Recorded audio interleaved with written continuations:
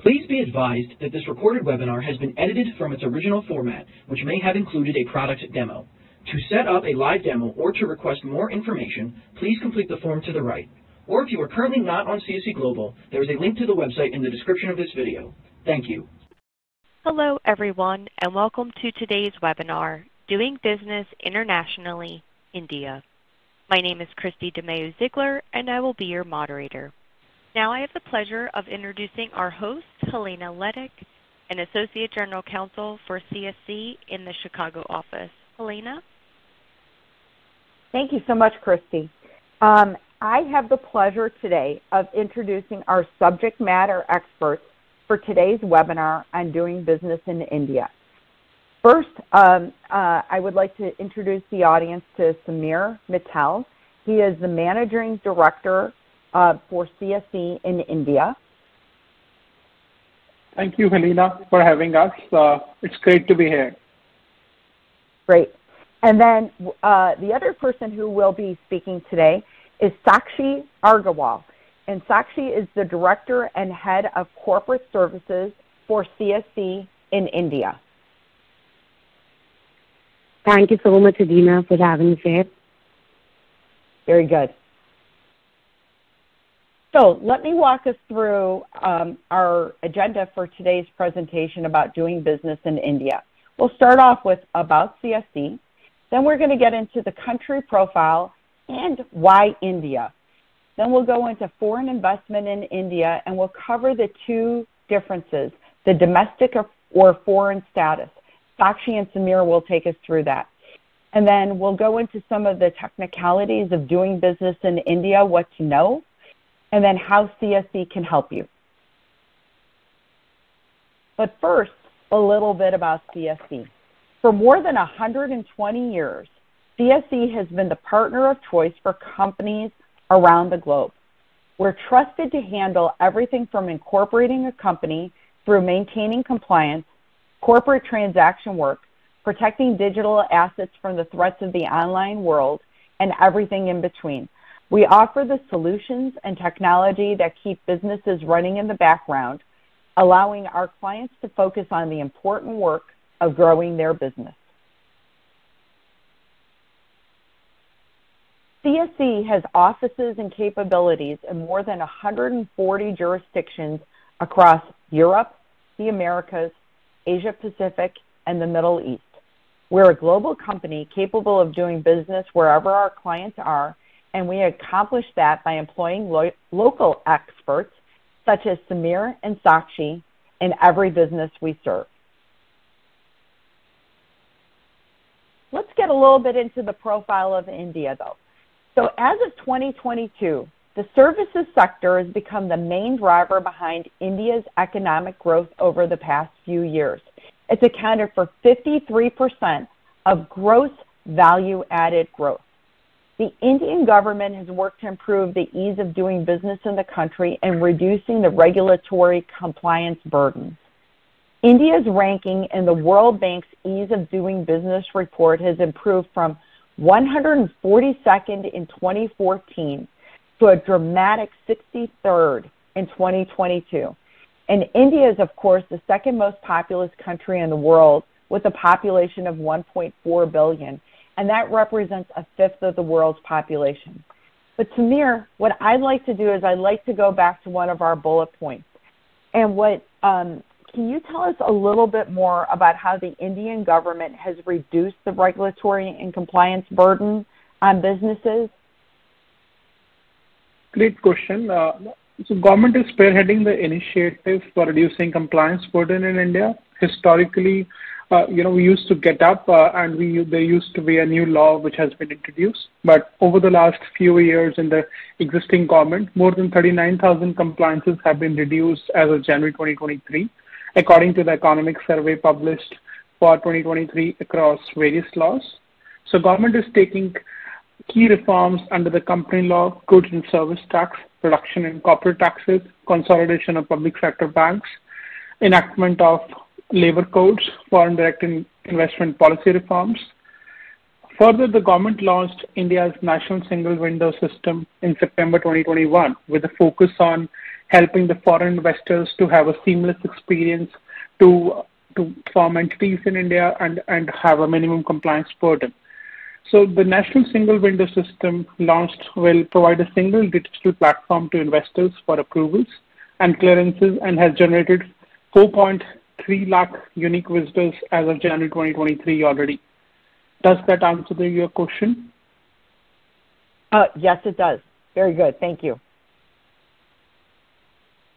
We want to spotlight uh, some of the reasons why India is such an exciting country to invest in. And what we wanted to point out was that um, India is the fifth largest economy in the world. Um, it ranks only behind the US, China, Japan, and Germany, and it's projected to grow at 6.7% between 2022 and 2023. And um, within the next year or so, there's going to be a target of about a US $5 trillion investment in nine key areas, including IT, healthcare, energy, financial services, and education.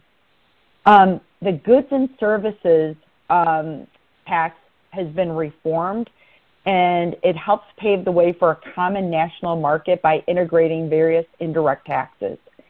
Um, there was a bankruptcy code, insolvency and bankruptcy code that was introduced, which helps businesses resolve those um, insolvency issues in a timely manner. And there's been quite a lot of digital innovation within India. It ranks 46th in the Global Innovation Index in the 2021 rankings, the top country in Central and Southern Asia. And to me, an astounding uh, statistic is that India has the highest fintech adoption rate of 87% compared to the global average rate of 64%. But Sameer, I think our audience would want to know a little bit more about the economic and legal reforms. Could you talk a little bit more about the goods and services tax reform and how that has helped the way, um, pave the way for a common national market? Sure. So India, uh, you know, if we go back, uh, you know, a couple of years ago when the GST was launched, so India had multiple taxes like central excise duty for manufacturing, service tax for services, central sales tax for trading and sales between one state to another state, additional duties for customs, luxury tax, purchase tax, entertainment tax, entry tax, and so on and so forth. So with launch of GST in 2017 July, uh, all these taxes have got subsumed under GST tax regime. And now India has got one tax in form of an indirect tax, which is called as GST. And India is a union of states, and there has been different taxes historically, as I said, different exemptions, different procedures for different states.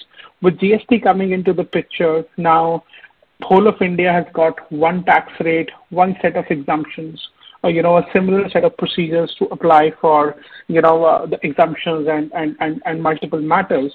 Uh, and it has made the businesses, you know, less difficult or it's much easier to operate eh, on all India level. Now there's a uniform tax rate, as I said, throughout the country.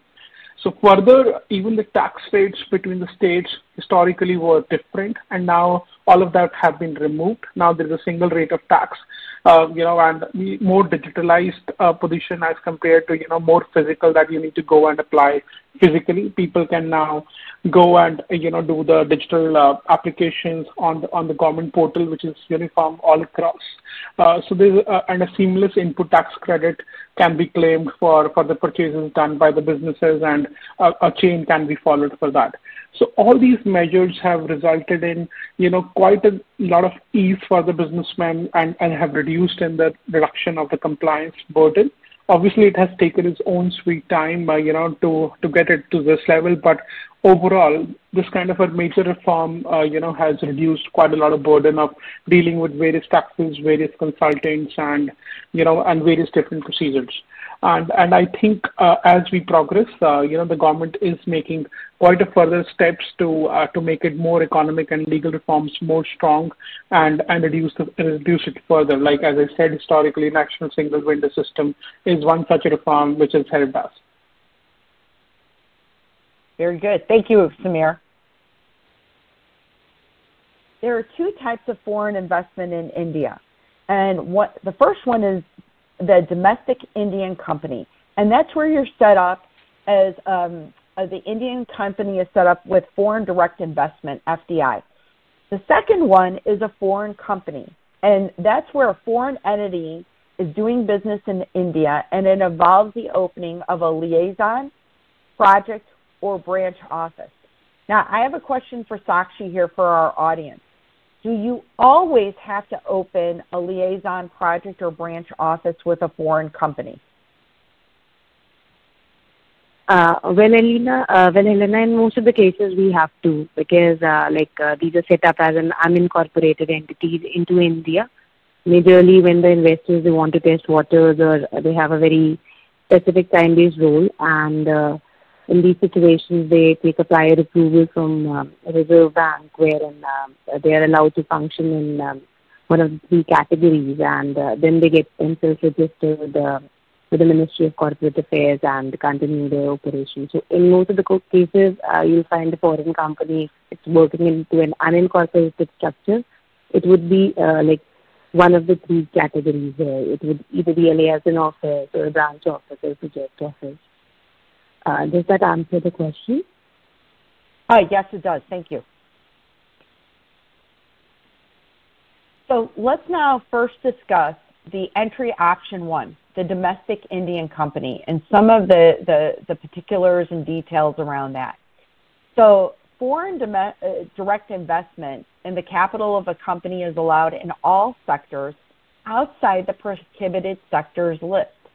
And those um, general industries which are banned are gambling, betting, atomic energy, railways, and tobacco. Um, the investment activity can occur through the so-called automatic route where no approval is needed from the Reserve Bank of India. However, in a few instances, it might be required. There's also um, investments can be made from um, countries from around the world, but those that happen um, if your investors come from a country that share a border with India, namely Bangladesh, China, Pakistan, Nepal, Myanmar, Bhutan, and Afghanistan. Those require government approval irregardless of the sector or the types of activities. So always those need approval. And then foreign uh, companies can also opt to set up um, wholly owned subsidiaries, joint ventures, SPVs, in the form of public or private companies. So foreign entities can make these investments in equity share capital, compulsory convertible debentures, um, and then preference shares, convertible notes. So I, I, do have a couple of questions for Sakshi on this slide. And then uh, when we have over here in the second category, we said that prior approval is sometimes required with the Reserve Bank of India, even if you're not in one of those prohibited sectors. Can you give us examples of when you might need prior approval? Sure. So what happens is that that uh, the government of India, under the easy doing business norm, has automated the investments in almost all the sectors in India, except few of the industries or sectors that are considered to be very strategic to the growth of the country. So there are sectors like defense, civil aviation, insurance, then uh, multi-brand retail, uh, e-commerce, railway. Like, uh, these are certain sectors that are considered to be very critical to the growth of the country, and uh, the government has like automated it to a certain extent and uh, has said that okay, after touching a certain extent, you're required to take a government approval. For example, if we are talking about banking and private sector, so there, up to 74% of investment, uh, foreign investment is permitted.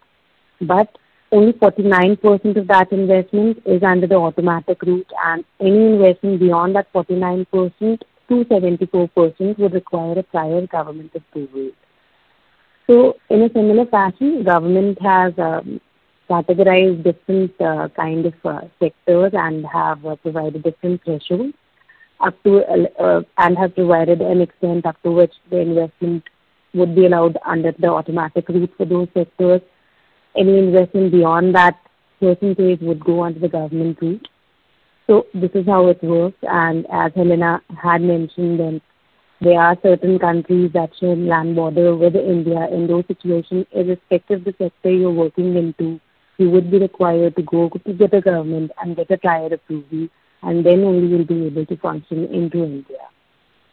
So this so, is how so it works. actually, that that has me. Uh, that brings up another question for me. If you uh, if you have those investors that do come from a country that shares a land border with India, it, doesn't matter how many investors are involved, how big, um, or or what percentage, or as soon as you have anyone that is an investor in any way, you have to get the approval? Yeah. So, uh, the beneficial ownership structure, there is a bit of ambiguity around that, that, uh, like, uh, that is a continuous question that is going on. But yeah, as of now, considering the conservative approach, if the investor happens to be from any of the countries that come into the Press Note 3 uh, directions, in those situations, we are required to go to the government and get approval. Okay. Very good. Thank you. So let's now talk a little bit about the domestic company requirements for Indian companies. So a private limited company is required to have at least two shareholders, while a public limited company is expected to have at least seven shareholders along with one resident director. Those private limited, limited companies aren't subject to minimum capital requirements they have limited liability and are separate legal entities governed by the Companies Act. Those profits earned by that invested company can be repatriated in the form of dividends after the payment of applicable taxes without the permission of the RBI. Now, the foreign directors may be required to obtain a permanent account number in India and must apply for a digital signature certificate to enable them to sign various filings with the tax authorities and the registrar of companies. And then, of course, for the KYC, uh, the notarized and apostilled copies, uh, those documents for the foreign shareholders and the foreign directors also need to be notarized and apostilled at the time of incorporation. But I, before we go on, I do have a question over here to ask about uh, those digital signature certificates. So, Sameer, can you explain a little bit more about what those are in India? So basically, as we said earlier, uh, like, you know, all the filings are done digitally for incorporation of companies or even for the annual filings, we need to do all the filings digitally. So for, uh, for when we do the annual filings or when we do the incorporation of any entity, we need the digital signature to sign, uh, you know, the forms forms which are filed on the website of Ministry of Corporate Affairs. So digital signature certificates are basically the digital equivalent of one signature. These are issued by the licensed certifying authorities in India, which are licensed by the government of India to issue such digital signatures. And they are mostly provided in a token or a pen drive format, uh, in which we can use them, you know, to sign the various forms issued by Ministry of Corporate Affairs for incorporation, for various filings, and and uh, you know and even uh, for tax authorities you know or, or labor law filings whatever it is so these signatures can be used the process to use these is like we need to register with a specific authority of the proposed director's uh, digital signatures and accordingly we can do the filings and sign those forms uh, digitally all right um, sakshi can you tell us a little bit more about the know your customer supporting information that's needed for foreign directors and shareholders. I know that is very important to our U.S. audiences. Could you explain a little bit more about that? Sure. So um, for the foreign directors part, the government wants to know like who the director is, uh, like who the director would be, would be uh, like uh, working on, be on the board of the company. So um, they basically require an identity proof that is uh, the passport of uh, the foreign person and uh, that is required to be notarized and apostilled. Along with that, as a part of address proof, the government uh, usually prefers having uh, the utility bill or uh, the driver's license or probably the copy of bank statement, any of uh, these documents that contain the address of uh, the director concerned. And um, in case like uh, the utility bill or the bank statement, these documents are into a language that is not English, in that situation, these are required to be translated. And for the translation, again, like, these documents are required to be notarized and apostilled. So uh, this is there for the director's part. And as far as the shareholders or the investors are concerned, in case uh, the investor is a body corporate, in that situation, um, the uh, like uh, we are required to have the notarized and the postal copy of uh, the incorporation certificate of the company, the charter documents, the articles of association, memorandum of association, proof of address in the parent company, uh, then a board resolution that uh, has certain prescribed parameters like um, the amount of investment that would be done, the state in which the company would be incorporated, who would be the directors, who would be the shareholders. So uh, these are the basic documents that are required from the KYC point of view, and all of these are required to be notarized and posted. And um, then we are also required to have uh, the basic structure of the body corporate or the investor, wherein uh, uh, we usually want to know that um, who is the significant beneficial owner of uh, the company. So uh, this is majorly the document that we require on the KYC front for the foreign directors and the shareholders. All right. Very good. Thank you, Sakshi. We've talked about the domestic companies. Now let's go to entry option two, the foreign companies. So instead of incorporating an Indian subsidiary or entering into a specific joint venture, foreign investors may want to set up a foreign company in India after getting the approval from the RBI, the Reserve Bank of India. So registration is required from the registrar of companies or in the form of a liaison office, a branch office, or a project office. And of course, we'll hear about more of those.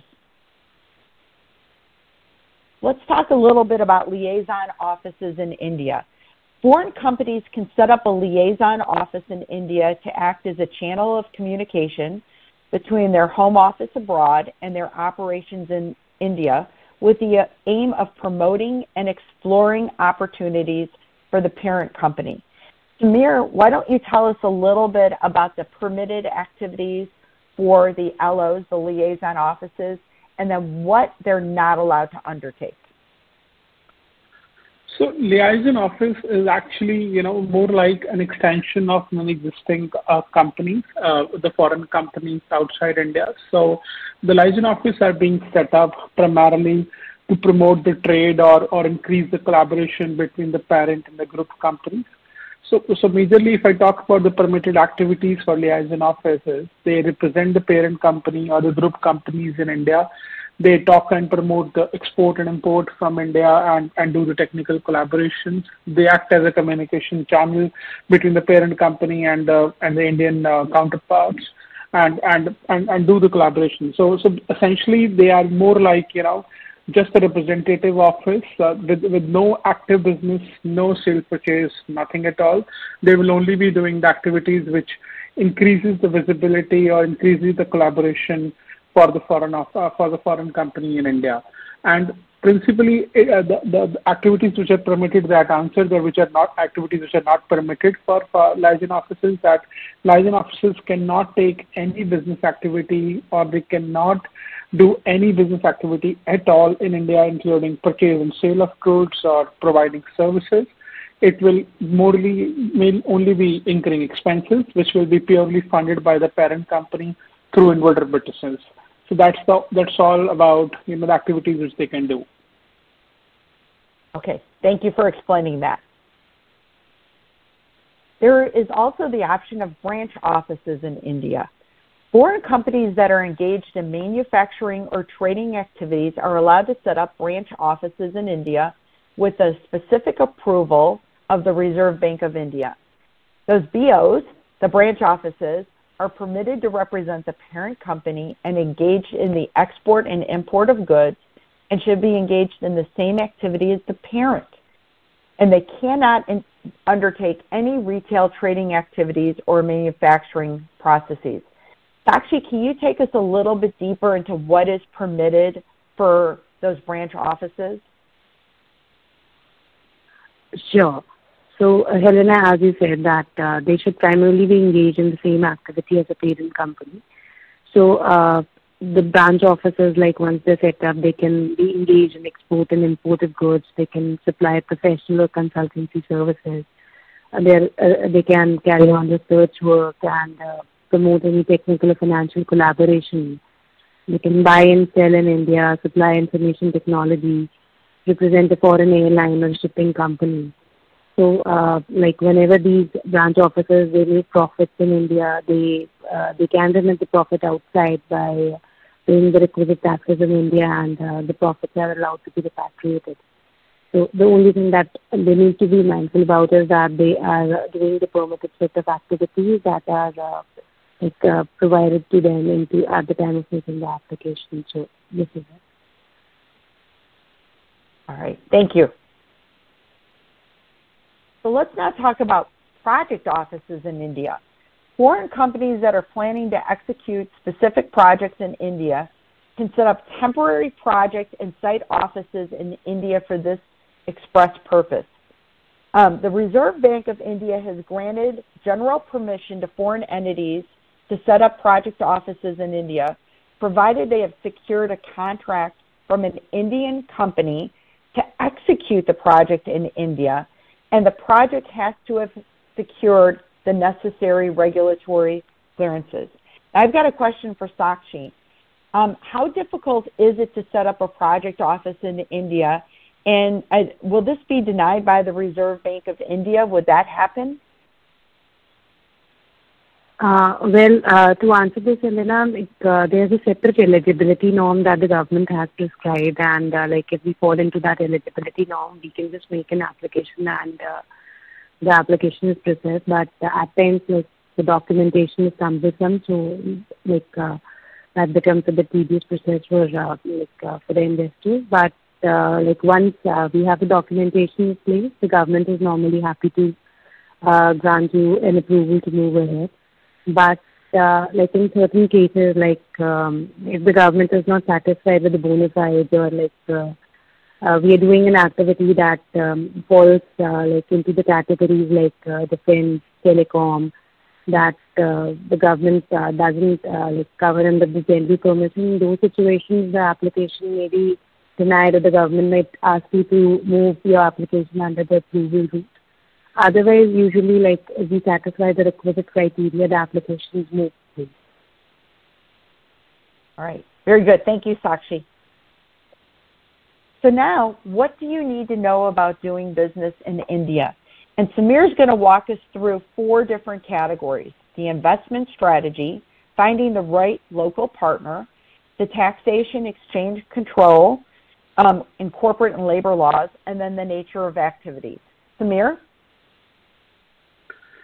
Sure. Thank you, Helena. Uh, so, you know, while setting up in India, we need to keep in mind that what should be our strategy of investment. So, investor need to decide, you know, what should be the mode of entry into India, whether they want to do, you know, the wholly owned subsidiary model, whether they want to get into a joint venture, or whether they want to get into a franchise model.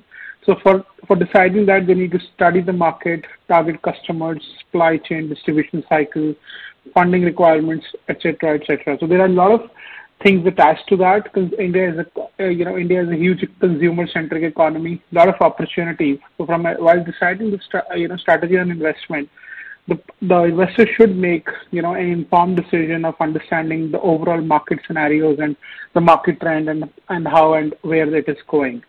So finding the local right local partner. So uh, so when if they decide to choose and go through a franchise model or a joint venture model with somebody locally they need to find out the right local partner, which is extremely important. So maybe, you know, when they, before they decide, they can choose to work with one of the firms who can help them to find out the right local partner if they don't know already because you know getting the right due diligence done or finding out who who should be the the partner in hand who can join with whom they can join hands it becomes extremely imperative another thing to take care is about the laws pertaining to taxation, laws pertaining to exchange control, corporate laws, and labor laws.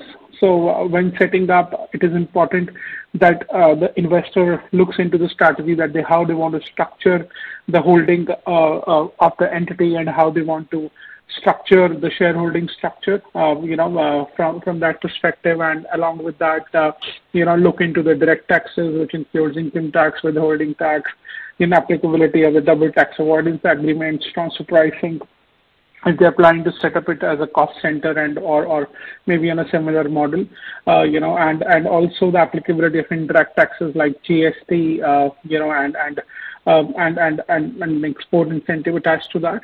Uh, and on the exchange control as well, like most of the companies who set up in India, they need to understand that India is you know, uh, quite uh, uh, regulation based that we, we need to follow the regulations. One of the examples or one of the major problems which companies come across pertaining to exchange control is that they don't have funds in the Indian entity and the entity is just under setup and they start paying the bills of the Indian entity from the parent company, say in US or any other part of the world which are not allowed under exchange control. And it becomes a major issue for the directors of the entity and entity become non-compliant and, and they have to go for a compounding, which is a long process. Similarly, on the corporate law, uh, they need to decide on the structure of the entity, what kind of structure, whether it will be a private limited company or a public limited company or a limited liability partnership.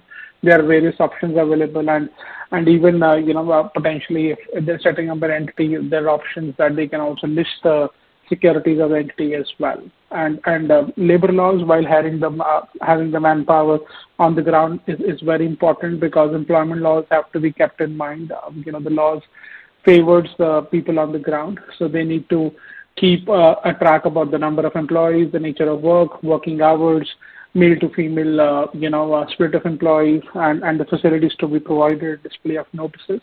All these things have to be kept in mind at the time of setup as well. The last thing to decide is the nature of activities. And uh, there are a lot of activities that are covered under sector-specific laws and require specific licenses like non-banking financial sector, insurance, wherein a sector-specific rules are required. So, uh, uh, while deciding to set up in India, all these things becomes a major part for them to understand and you know and take an informed decision before they can plan to set up. Now that we've learned about why to invest in India and we've learned about the different types of foreign investments in India and what are some of the details that you need to know, let's now talk about how CSC can help you. So let's now talk about how CSC can help you in India. Sameer, why don't you take us a little bit through this? You can rely on CSC from a end-to-end perspective as a one-stop shop you know, helping uh, from the formation of entity to uh, to the entity management. So when you think of setting up in India, we can help you to take a decision what kind of entity you want to set up, which will and followed by entity formation, domiciliation, directorship, shareholders, and then doing the maintenance of the entity from a accounting, tax filing, payroll perspective. We have a full suite of services which we, in which we can also provide you the payroll and HR support in hiring employees and, and doing their offer letters, uh, along with many other services which includes tax, asset assurance, uh, fund administration, risk advisory services. So do look at us as an end-to-end provider for the services you need in India. So we've heard about what we can offer you in India. Let's talk about CSC solutions globally. So we are the business behind business. As you can see from our solutions listed here, we're the partner of choice for global companies needing expertise in business administration and compliance, fund solutions, transactions and lending, capital markets, and domain security and brand protection. Whatever your company needs to stay in compliance transact business, and become secure against threats of the online world, CSC can help.